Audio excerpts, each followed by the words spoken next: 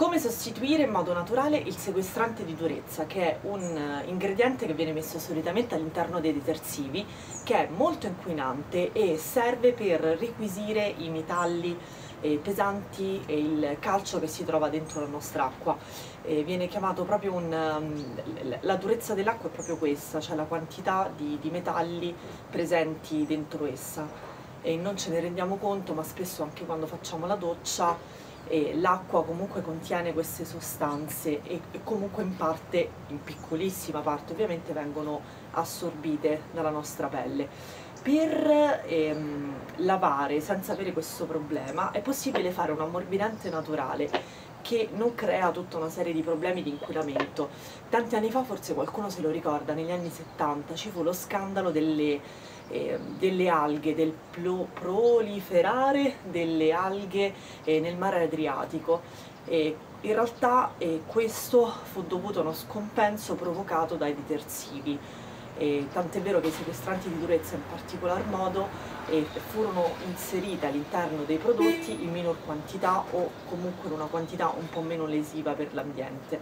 Comunque noi ce lo facciamo in modo naturale, semplicemente acquistando l'acido citrico, sempre meglio sfuso, io lo compro nelle ciotoline, nei negozi appunto che vendono gli sfusi, si trova al ferramenta, nei negozi bio, anche in farmacia, è più economico sempre nel, non in farmacia, in tutto il resto. Costa dai 3 ai 5-6 euro al chilo.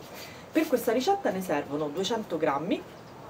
L'acido citrico è un elemento eh, che viene estratto dagli agrupi, quindi si trova nel succo di limone, d'arancia.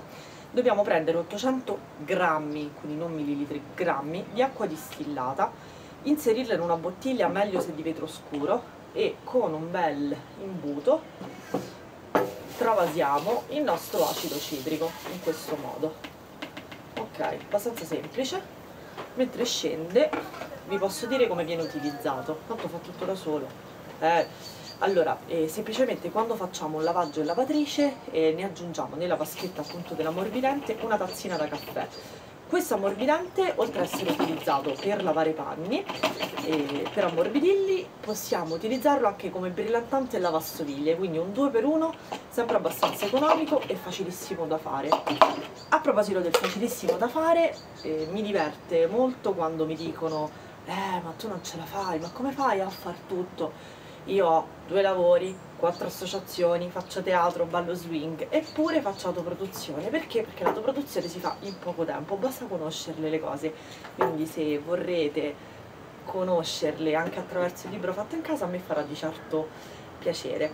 Quindi semplicemente dobbiamo poi shakerare questo, eh, aiuto, shakerare il tutto, magari con un tappo, continuando eh, a farlo e, e niente basta il nostro ammorbidente è pronto. Fatto in casa fatto in terrazza